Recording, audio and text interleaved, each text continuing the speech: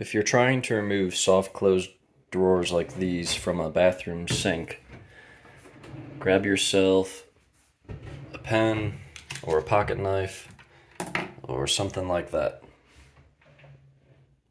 Okay, now I'm gonna grab my knife or implement of choice, go under here, and look for the latch. Okay, so we have our latch.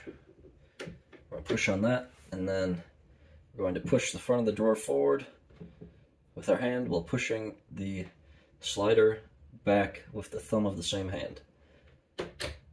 And by doing that, we can keep this latch locked open.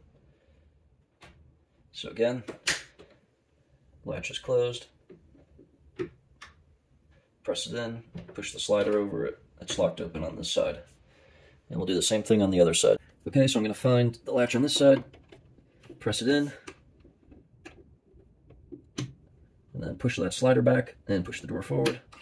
There you go. Now it's locked open. Okay, sort of got stuck at first, but now it's locked open.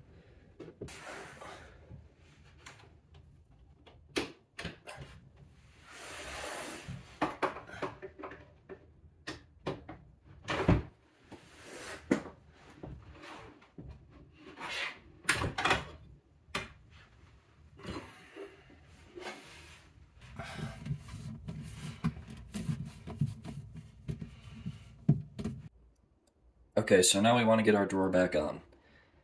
We have here at the front of the drawer on either side the tab and the latch. This is going to slide underneath the tab and the latch is going to lock into this hole.